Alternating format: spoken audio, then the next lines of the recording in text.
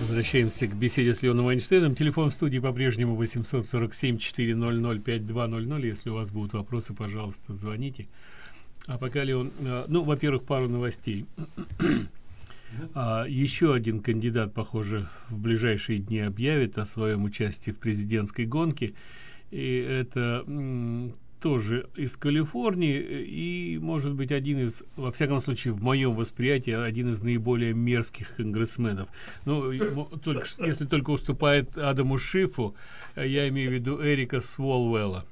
Okay. Это человек с, явно с какими-то признаками психического заболевания. Я не врач, не могу ставить диагноз, но когда я смотрю на его искривленный рот, мне кажется, что человек не совсем здоров. И с манией преследования. Он так же, как и Шиф, э, выходит на, любой экран, на любой телеканал и толдычит свое. Э, давайте примем звонок. Давайте примем звонок, а потом продолжим разговор. Добрый день, пожалуйста, в эфире. Здравствуйте. А, уважаемый Леон, скажите, пожалуйста, вот столько преступлений совершили эти люди. А сейчас это уже что, истек, э, ну, истек срок давности, уже нельзя им предъявить э, никаких обвинений в том, что они предали интересы э, Соединенных Штатов, ну, начиная с Клинтона, который продал Китаю вот э, секреты космического э, э, ну, э, космоса, э, то, что Обама отдал деньги Ирану и так далее. Это все уже, уже, как говорится, крест, и никто ему уже никогда ничего не предъявит. А, вы знаете, э, ну, есть разные, есть разные истории, например, э, начнем с той истории, которую я только что рассказал. Э, ну, попробуй докажи, что то, что сын Байдена получил полтора миллиарда на свой счет от китайцев, это каким-то образом связано с тем, что Байден ну, скажем, так сказать, не жал на китайцев в вопросе острова, там, нейтральных вод и тому подобное. А, то есть нет состава преступления люди эти, они, те, кто, те, кто продумав делает все свои преступления, с моей точки зрения, и с вашей преступления, они продумав это делают, да, каким образом избежать того, чтобы закон мог их взять за вот это самое место. А это рейтинга не увеличит им, это приведет к тому, что их там не изберут и тому подобное, да, но это не приведет на скамью подсудимых. Теперь история с э, Украиной может привести э, Хантера и Джо э, на скамью подсудимых. Джо, скорее всего, нет, но Хантера может.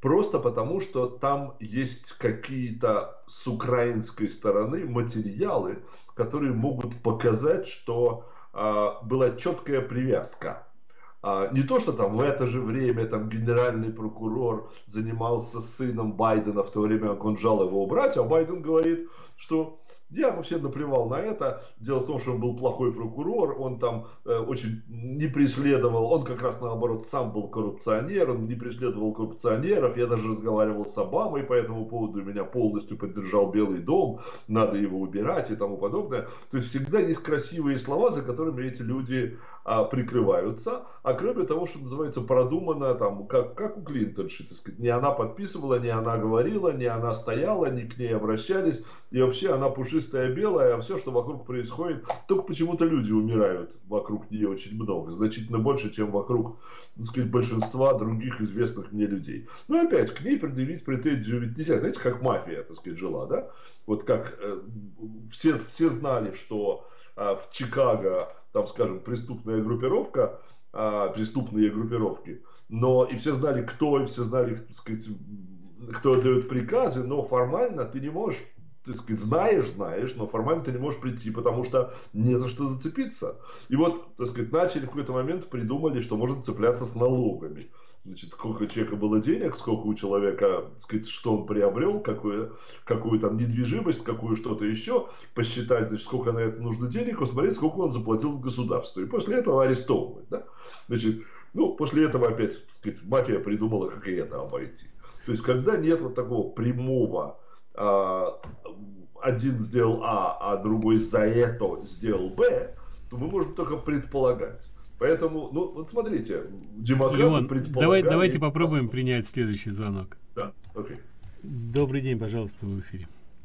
Добрый день, Сережа. Добрый день, Леон. Вы, наверное, помните, был такой а, спикер Палаты представителей Том Фоллey. Он проиграл выборы в 94 году.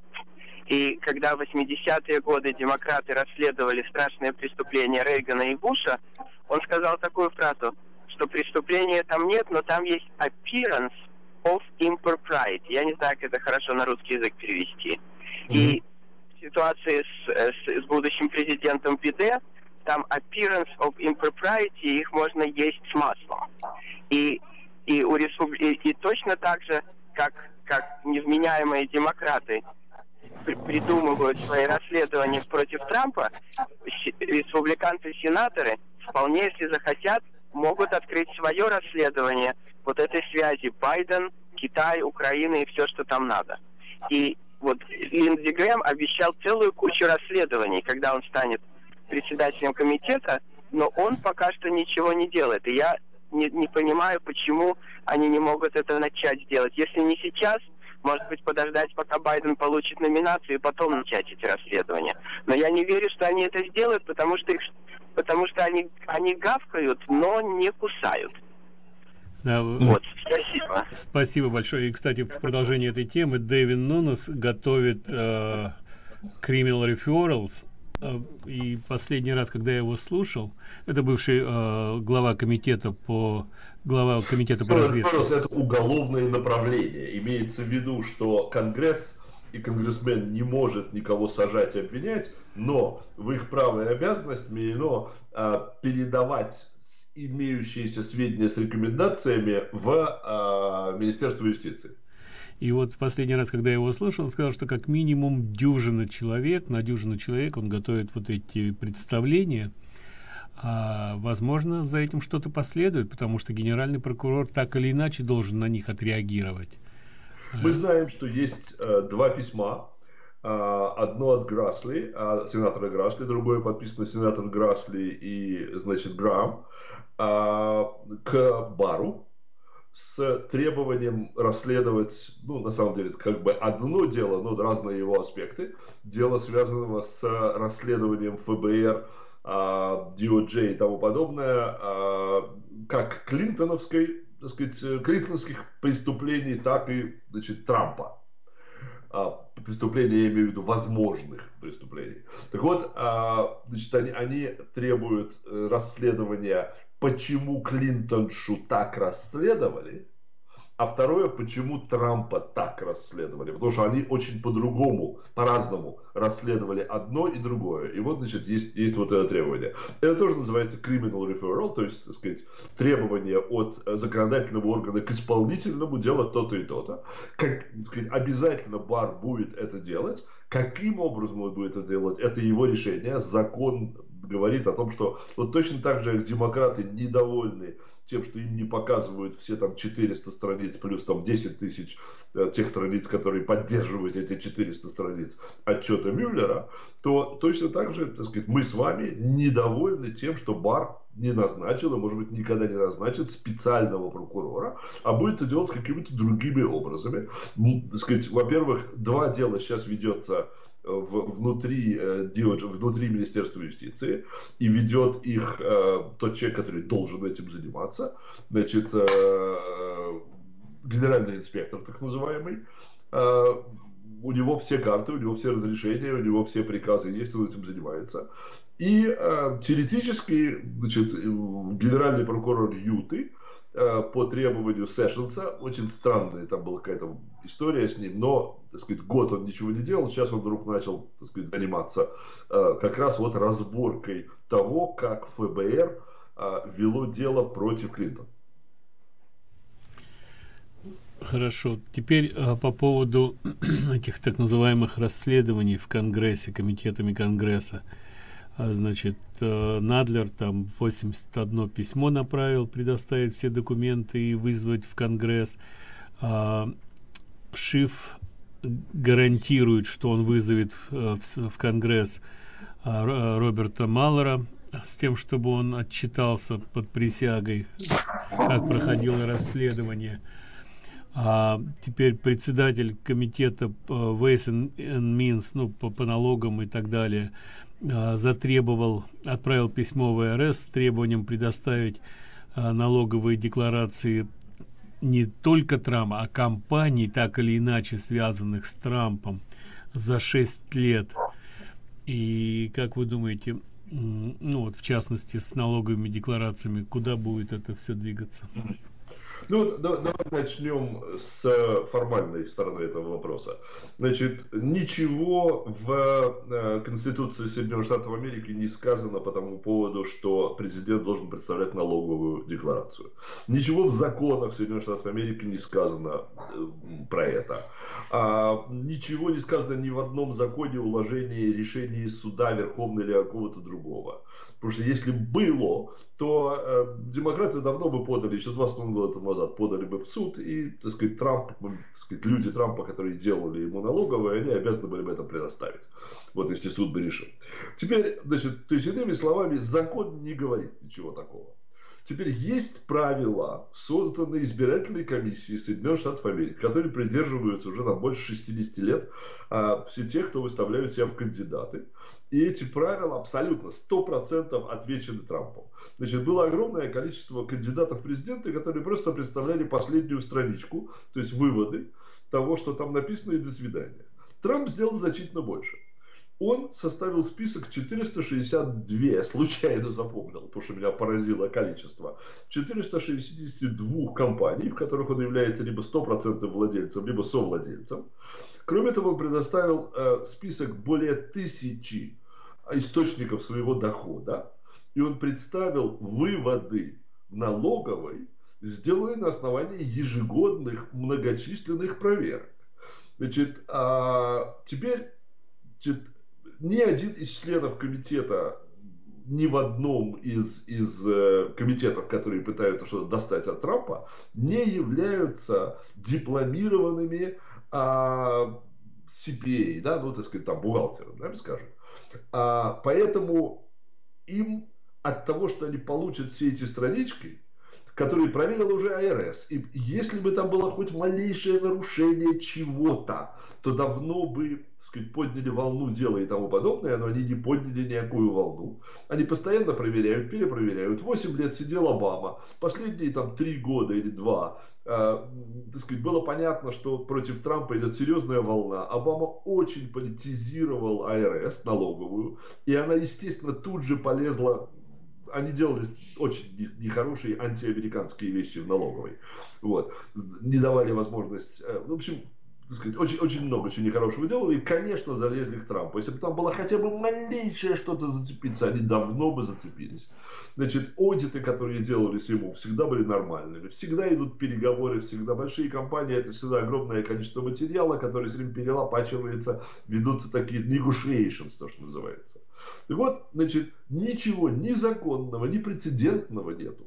Потому что прецедент был, значит, папа Мита Ромни, Джон Рам, э, Джон, Джон, по-моему, Джек, Джон, не помню, папа Мита Ромни.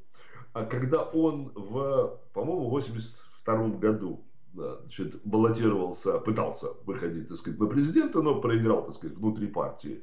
Он первый, который взял и принес а, все свои, значит, это самые налоговые, все свои отчеты, положил их на стол, сказал, вот я чистый, красивый, там, и там хорошо пахну. А после этого как, как бы вошло в некую традицию, и многие из претендентов приносили свои отчеты, а многие, как я уже сказал, приносили просто последнюю страницу. Поэтому нету ничего, что могло бы заставить президента. И последнее, что я хочу сказать. Вообще-то у нас в Америке есть презумпция невиновности. Пришла к нам из Британии. Презумпция невиновности говорит, если есть дело, преступление, иди его расследуй. Но как в Советском Союзе, значит, если есть дело, то, то есть если человек, то дело найдется, здесь не работает. У нас другая юриспруденция. Почему надо заниматься тем, что мы вызовем сейчас все материалы, все Мюллера, все э, этого самого, всю налоговую, все отчеты, а потом будем год копаться и пытаться найти там, за что бы уцепиться, а вдруг он в 1734 году совершил преступление. Ага, то есть они пытаются найти, переворошить все белье для того, чтобы, а может быть, среди него, среди него будет что-то грязное. Не работает так американское правосудие, хоть ты тресни. Но требовать они могут все, что угодно. С одной стороны, правосудие американское так не работает, а с другой стороны, коммунисты, что в Советском Союзе, что в Америке, одним миром мазаны. Давайте примем звонок. Добрый день. Добрый день, Сереж. Добрый день, Леон. А, един, вы понимаете, единственная проблема с тем расследованием, которое сегодня проводится со стороны республиканцев, давайте вспомним, во-первых, кого назначил а, инспектором, генеральным инспектором, а, генера, какой был генеральный прокурор, это был Джефф Сэшн. Во-вторых, проблема в том, что генеральный инспектор не имеет никакого права расследовать дела людей, которые были либо уволены, либо более не работают а, в действительном правительстве. Поэтому, учитывая то, что уволили и Маккейба, и Коми, и Страка, и э, Бруса Ора. То есть уволили практически полностью всех, которых бы нужно было допросить. А их допросить невозможно, потому что они не являются действующими лицами. Теперь следующий вопрос. Следующий вопрос идет в том, что этим может заняться расследованием Конгресс. Но и Конгресс не может этим заняться, потому что у нас меньшинство в Конгрессе.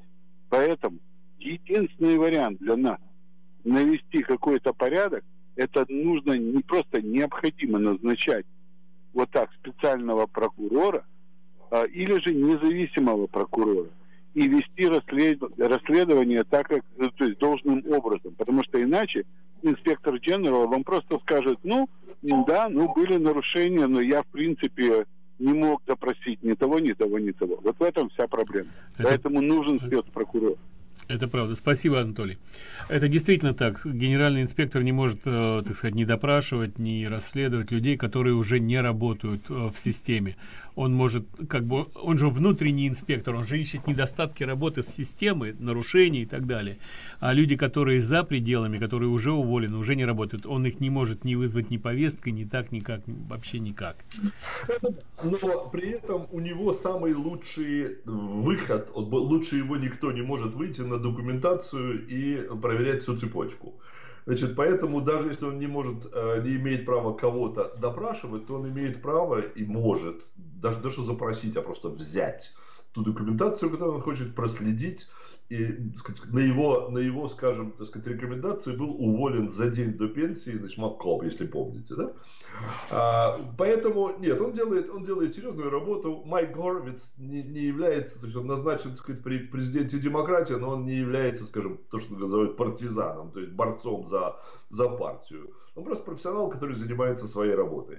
А, я не говорю, что я считаю, что только он и больше никто. Я просто говорю, что и, идут, я ответил на вопрос, что идут некие расследования, и которые будут, э, скажем, так сказать, продолжаться и происходить в Сенате. Они готовятся. Давайте примем следующий звонок. Добрый день, пожалуйста, в эфире. А, добрый день. Очень коротенький вопрос к Леону. Леон, будьте любезны, пожалуйста, подскажите. А вот чисто теоретический вопрос, я бы сказал, гипотетический, возможно. Может, нет, не знаю.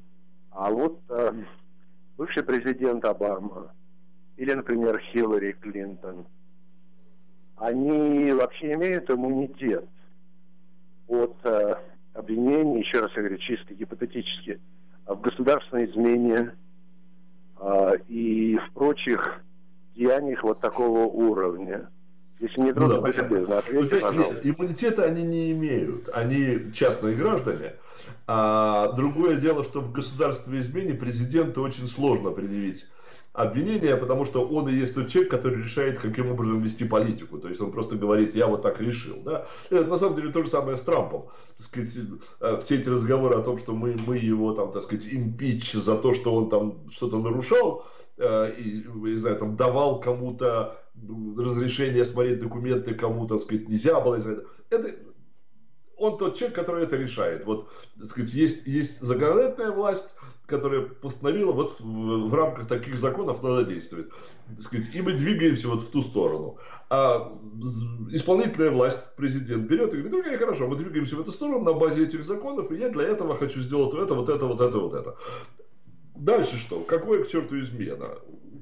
С Клинтон немножко другая история. Она может быть, она не тот человек, который решал, она была министром в правительстве, госсекретарем.